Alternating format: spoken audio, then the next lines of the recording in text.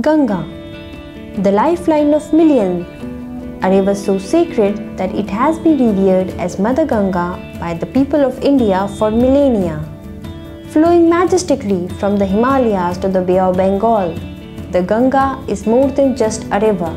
It is a symbol of life, purity, and spirituality. However, over the time, with rapid industrialization and urbanization, the river is under threat, with industrial waste, untreated sewage, and plastic being the major sources of pollution. To restore the pristine glory of River Ganga, Government of India launched the Namami Gange program in 2014.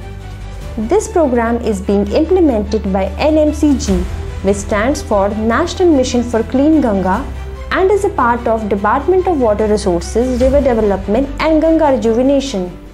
In the endeavor to conserve River Ganga, NMCG has been implementing various innovative techniques.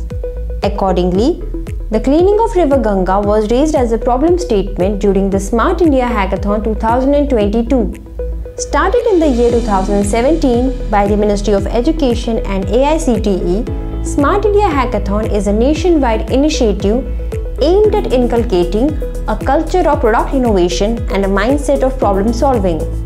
The winning team of Smart India Hackathon 2022 from the Bannari Amman Institute of Technology, Tamil Nadu, comprising of six students and their mentors in collaboration with NMCG, is developing an artificial intelligence driven aqua scooper bot to be deployed for cleaning of floating waste in River Ganga.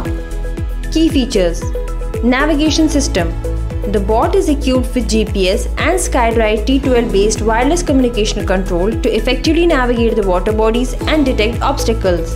Collection mechanism In order to collect and hold the floating waste, the bot has an effective conveyor belt based mechanism. After collection, the waste will be stored in the bins for effective discharging in the offshore. Waste detection sensor system Utilizing cameras, sensors, and machine learning algorithms, the bot will identify and categorize floating waste, distinguishing between plastic, organic material, and debris. Energy The bot is powered with rechargeable hydrogen cell batteries and solar panels to ensure long lasting operational periods. Remote control and monitoring The bot can be operated remotely by operators who monitor its progress and control its movements. Working as soon as the bot detects the floating waste, its images are captured through the camera module and processed by the sensor circuitry unit using a machine learning algorithm. Once processed, the ultrasonic sensor interface finds the shortest distance between the bot and the object to set the waypoints. The bot is then autonomously controlled by the interfacing of a wireless communication controller which sends the command to the corresponding motor in the propulsion unit to thrust the bot over the waypoint. The waste is then collected by the conveyor mechanism and stored in the waste collection bin. Benefits Environmental restoration by removing floating waste from River Ganga, this initiative directly contributes to the restoration of the river's ecological balance. Cultural preservation. The project aligns with the cultural and spiritual significance of River Ganga by enhancing its cleanliness and overall aesthetic.